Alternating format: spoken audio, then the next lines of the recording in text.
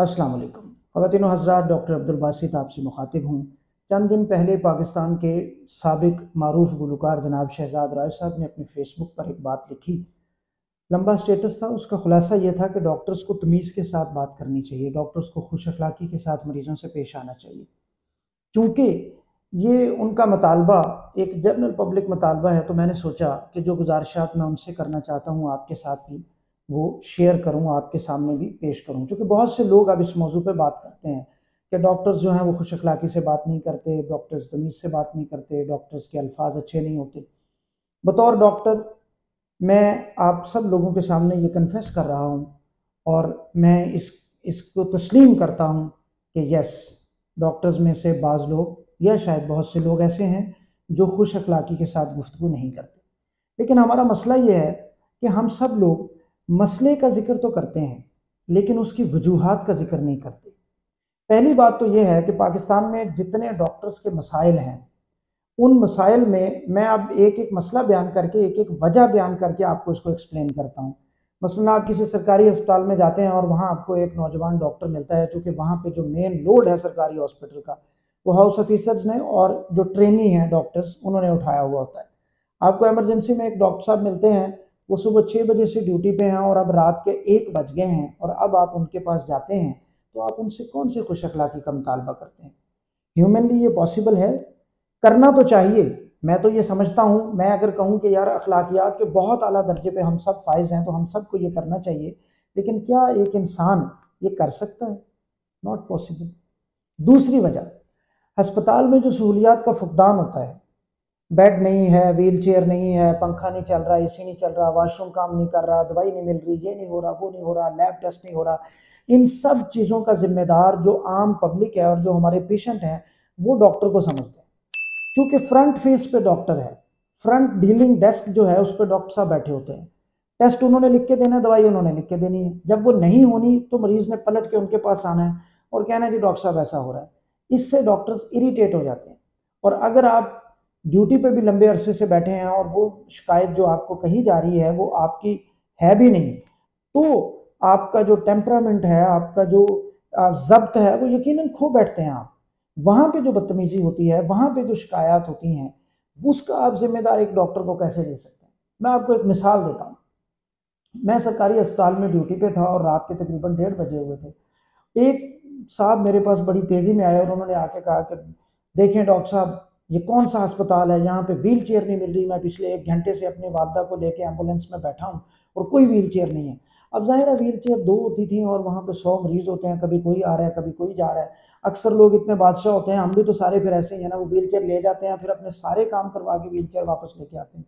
उसको wheel chair नहीं मिल रही थी। उन्होंने बड़ा शाउट किया इमरजेंसी आई रिमेन साइलेंट मैंने कोई जवाब नहीं दिया उनको। लेकिन बात यह है कि जिस तरह मैं साइलेंट रहा और मैंने उनको जवाब नहीं दिया क्या सब डॉक्टर ऐसे होंगे? नहीं होंगे। डॉक्टर आपके भाई, बहन, दोस्त, माँ, बाप, बेटे, बेटियाँ हैं ना? उनमें से किसी का अगर गुस्सा जो है वो तेज़ है, किसी के जज्बात जो हैं वो कंट्रोल में नहीं रहते तो वो उस टाइम उसको कहेगा कि मेरे पे क्यों शाउट कर रहे हो आप? या क्यों बदतमीज़ी कर रहे हो आप? और वहाँ से मामला ख़राब हो जाता है। फिर लोग वीडियोज़ बनाते हैं और बताते हैं कि जी देखें, डॉक्टर साहब जो है वो तमीज़ से बात नहीं कर रहे। तो बहुत बड़ा एक मसला सहूलियात का इल्ज़ाम डॉक्टर्स को दिया जाना है। और फिर तीसरा बड़ा मसला यह है कि डॉक्टर्स का पाकिस्तान में कोई सर्विस स्ट्रक्चर नहीं है।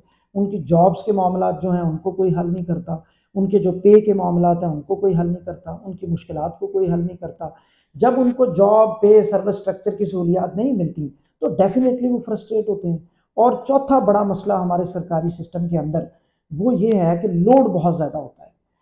आप अक्सर एक जगह पे जाते हैं और आप किसी आउटडोर में जाएँ, वहाँ पे 300 बंदा बाहर खड़ा हुआ होता है, एक छोटा सा गेट होता है, उसमें से गुजरने वाला, आप तो एक दफ़ा जाते हैं ज़िंदगी में और आप तंग आ जाते हैं।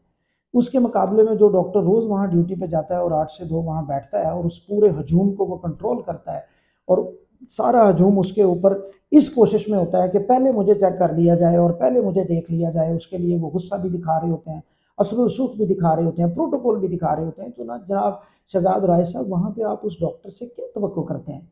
वो किस खुश अखलाक़ी का मुजाहरा करेगा? आखिरी बात मैं आपके साथ ये करना चाहता हूँ, जब आप वजूहत का ज़िक्र किए बगैर और मसले को हल किए बगैर मसला बयान कर देते हैं तो क्या होता है? नंबर एक, आप लिख देते हैं कि जी डॉक्टरों के पास ना जाए, डॉक्टर बुरे हैं, ये हैं, वो हैं, डॉक्टर डाकू हैं, डॉक्टर ऐसे हैं, डॉक्टर वैसे हैं तो क्या होता है?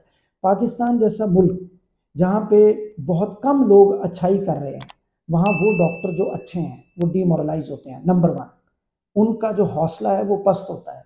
जो अच्छे काम वो कर रहे हैं, वो करना छोड़ जाएँगे। नंबर टू क्या होगा?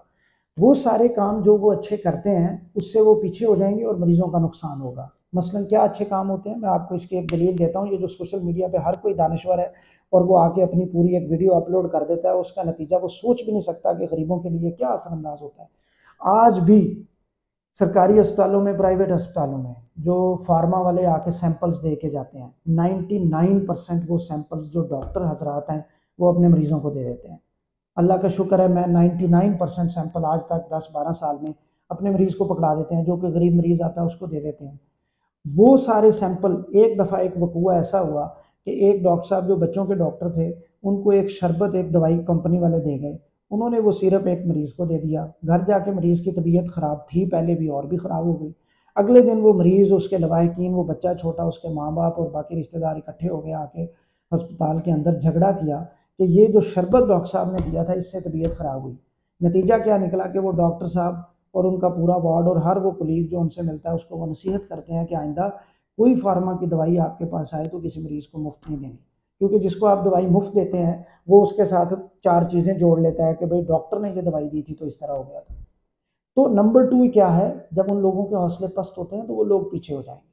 आपकी सोसाइटी में आप ये जानें कि जिस तरह के डॉक्टर्स हैं उसी तरह के बाकी आपके ताजर हैं उसी तरह के इंजीनियर हैं उसी तरह के उस्ताद हैं उसी तरह के बिजनेसमैन हैं उसी तरह के सहाफ़ी हैं उसी तरह के गुलकार हैं उसी तरह के अदाकार सब लोग एक तरह के हैं तो जनाब जिस तरह के वो हैं उसी तरह के डॉक्टर्स हैं नंबर थ्री क्या होगा हमारे जैसा मुल्क जिसमें पहले ही लोग डॉक्टर्स को तब दिखाते हैं जब मर्ज सारा बिगड़ चुका होता है वो और दूर हो जाएँगे और वो हो चुके हुए हैं मैं अगर रिकॉर्ड नहीं करता, अगर मैं रिकॉर्ड करूँ तो रोज़ाना शायद दस मरीज़ मेरे पास ऐसे आते हैं जिनकी बाजू टांग, हड्डी कोई टूटी हुई होती है, डेढ़ साल किसी को एक्से ट्रीटमेंट करवाया हुआ होता है, अब वो इस नौबत पे पहुँच जाते हैं कि वो का, ना का, लाइलाज हो जाते हैं।